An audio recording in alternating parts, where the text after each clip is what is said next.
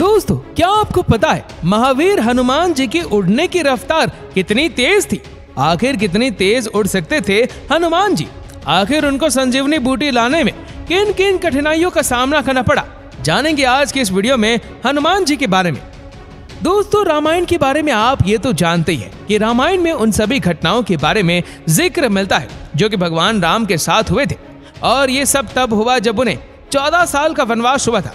उस दौरान उनके भाई लक्ष्मण और उनकी पत्नी सीता उनके साथ थे और जंगलों और वनों में जो जीवन व्यतीत कर रहे थे।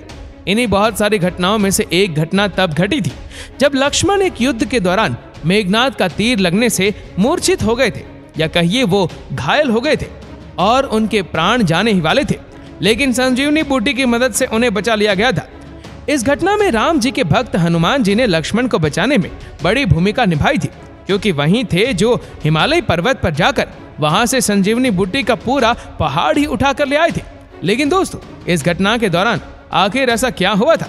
दरअसल दोस्तों, लक्ष्मण मेघनाथ का तीर लगने से घायल हुए थे। ये बात आप जानते होंगे, लेकिन आपको ये भी जानना चाहिए कि आखिर लक्ष्मण और मेघनाथ का युद्ध हुआ ही क्यों था? दरअसल इसकी वजह थी एक यज्ञ, जो कि मेघनाथ कर रहा था। किसी को भी इसके बारे में पता नहीं था।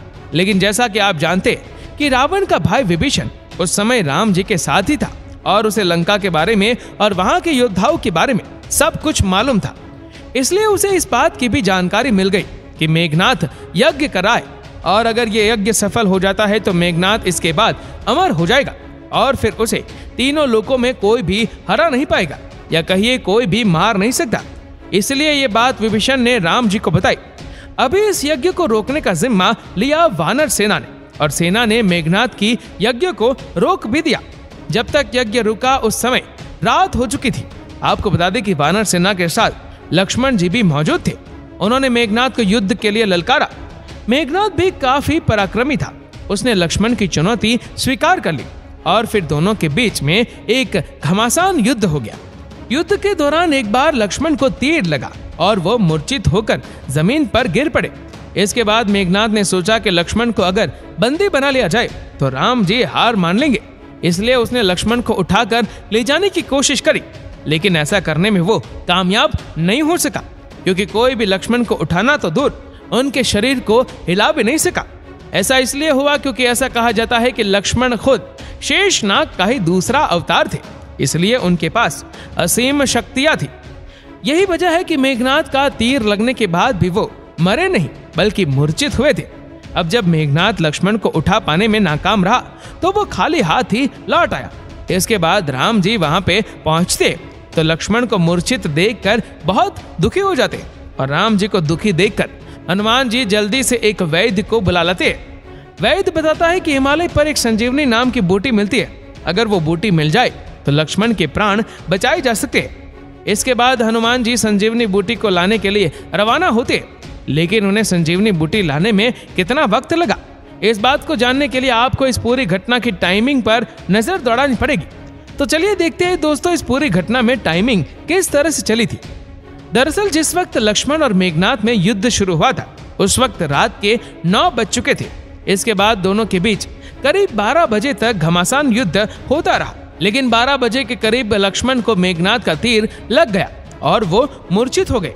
उस समय जब सभी लोग चिंतित थे, तब विभीषण ने सबको सांत्वना दी और राम जी को बताया कि लंका के राज वैद्य सुशील लक्ष्मण को बचा सकते हैं। ऐसा कहा जाता है कि उसके बाद हनुमान जी सुशील वैद्य को लंका से उनके मकान के साथ ही उठा लाए थे।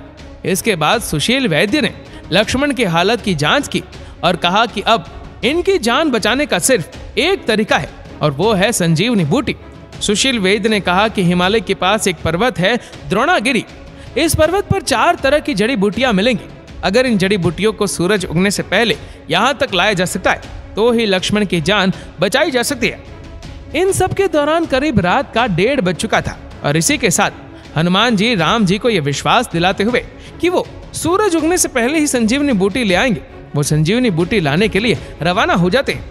आपको हम बता दें कि लंका से द्रोणागिरी पर्वत की दूरी करीब 2500 किलोमीटर थी, लेकिन ऐसा भी नहीं है कि वो सीधे द्रोणागिरी पर्वत पर पहुँच गए थे। इस पर्वत तक पहुँचने के लिए उन्हें बहुत सारी कठिनाइयों का सामना भी करना पड़ा, जिससे रास्ते में उन्हें काल नेमी नाम का एक राक्षस मिला, जो कि उस समय ऋषि के भेष में था, और वो लगातार राम जी के नाम का जप कर रहा था, क्योंकि हनुमान जी भी राम जी के भक्त थे। इसीलिए वो उसकी बातों में आ गए। उसने हनुमान जी से कहा कि पहले वो नहा ले, उसके बाद ही वो बताएगा कि राम जी और रावण के युद्ध का क्या परिणाम होगा। जब हनुमान जी नहाने लगे तो अचानक से उन पर पीछे से एक मगरमच्छ ने हमला कर दिया। लेकिन हनुमान जी के सामने भला एक मगरमच्छ का क्या ज़ोर चल सकता था? तो कुछ ही देर में हनुमान जी ने इस मगरमच्छ को मार दिया, जिसके बाद मगरमच्छ की आत्मा ने उन्हें काल नेमी राक्षस की सारी सच्चाई बता दी। ये जान करके वो ऋषि एक राक्षस है और वो सिर्फ़ उनका समय बर्बाद कराए। हनुमान जी बहुत ही ज़्यादा क्रोधित हो गए और उन्होंने उसे अपनी पूंछ में लपेट कर पर लोग भेज दिया। इन सब में उनका करीब आधा घंटा बर्बाद हो चुका था।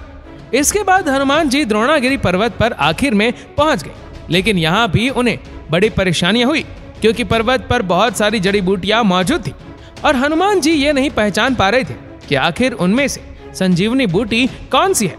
इस उलझन में जब करीब आधा घंटा गुजर गया तो हनुमान जी ने पूरा द्रोणागिरी पर्वत ही उठा लिया और वापस चल पड़े। इसके बाद दोस्तों, जब हनुमान जी अयोध्या के ऊपर से गुजर रहे थे, तब आसमान में काफ़ी दूरी होने की वजह से भरत उन्हें पहचान नहीं पाए। उन्हें लगा कि शायद कोई राक्षस जा रहा है। इसलिए भरत ने हनुमान जी पर तीर से हमला कर दिया। भरत के तीर से हनुमान जी घायल हो गए और वो ज़मीन पे आ गिरे। जब वो ज़मीन पर गिर रहे थे, तब वो राम जी का नाम ले रहे थे। इसलिए जब भरत ने राम जी का नाम सुना तो उन्होंने हनुमान जी से उनके बारे में पूछा। तब हनुमान जी ने अपने बारे में बताया। मेघनाथ के साथ हुए लक्ष्मण के युद्ध के बारे में सब कुछ बताया और साथ ही सीता हरण के बारे में पूरी जानकारी दी। जब भरत को इस सब के बारे में पता चला तो उन्हें बड़ा दुख हुआ और उन्होंने हनुमान जी से क्षमा मांगी और हनुमान जी को फिर तुरंत ही रवाना कर दिया। लेकिन एक बार फिर से करीब आधे घंटे का समय बर्बाद हो चुका था। पर फिर भी हनुमान जी सूरज के उगने से पहले ही लंका पहुँच गए और हनुमान जी के हाथों में द्रोणागिरी पर्वत देखकर सब बिल्कुल हैरान रह गए। इसके बाद सुशील वैद्य ने द्रोणागिरी पर्वत पर मौजूद संजीवनी बूटी को पहचाना और उसे लक्ष्मण को दिया। अब दोस्त टाइमिंग पर गौर किया जाए तो सुबह पाँच बजे से पहले ही हनुमान जी संजीवनी बूटी लेकर लंका पे आ गए थे।